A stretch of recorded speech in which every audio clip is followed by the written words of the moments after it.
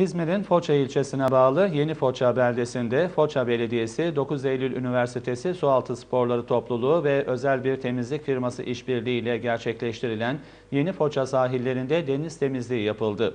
Yapılan çalışmalar sonucu denizden çıkarılan atıklarsa görenleri hayrete düşürdü.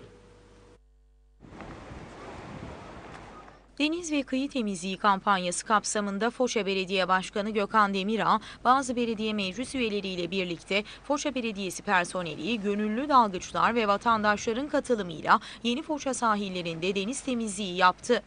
Temiz Dünya Temiz Limanlar sloganıyla deniz ve kıyı temizliğine dikkat çekmek amacıyla yapılan sualtı temizliği çalışmasında dalgıçların çıkardığı çöpler görenleri hayrete düşürdü.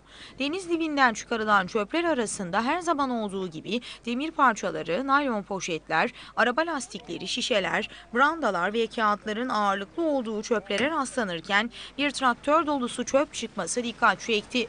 Dalgıçlar tarafından çıkarılan atıklar romorklerle toplandı.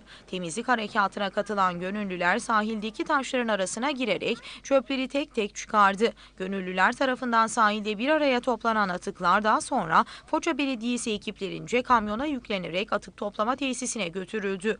Bu ve benzer çalışmaları her yıl yaptıklarını dile getiren Foça Belediye Başkanı Gökhan Demirağ, Foça'da yaptıkları kıyı ve deniz temizliğiyle gelecek nesillere örnek olmak istediklerini belirtti. Gerçekleştirdikleri sosyal sorumluluk projesiyle bilgi veren proje sorumlusu Soner Babüroğlu da limandaki kirliliğe vatandaşların da ilgisini çekmek ve farkındalık yaratmak istediklerini vurguladı.